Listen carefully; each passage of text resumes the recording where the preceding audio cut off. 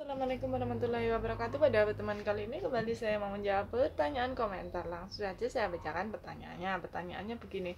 Saya hamil 15 minggu Tapi saya keluar darah menggumpal Ditambah perut sakit sekali. Apakah berbahaya?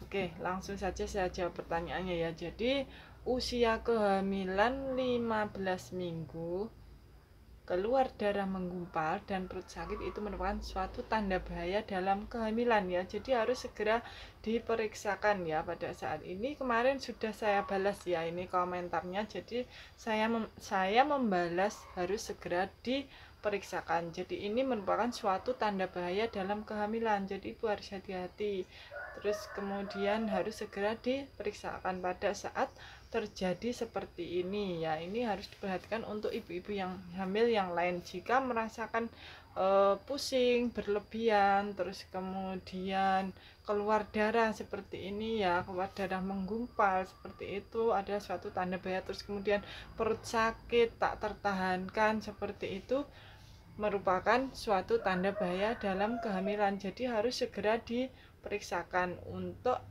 e, mengantisipasi terjadinya hal-hal yang tidak diinginkan. Karena itu merupakan tanda bahaya. Jadi harus segera ya harus segera diperiksakan ke petugas kesehatan. Seperti itu bisa ke bidan ke dokter ataupun ke puskesmas ataupun ke rumah sakit. Seperti itu. Jadi itu adalah langkah jika terjadi kasus seperti ini ya kasus keluar darah menggumpal seperti itu. Karena keluar darah menggumpal bisa merupakan suatu tanda keguguran. Terus kemudian e, perut sakit sekali itu juga merupakan suatu tanda terjadinya kontraksi ya. Perutnya terjadi kontraksi sehingga menyebabkan keluar darah menggumpal seperti itu.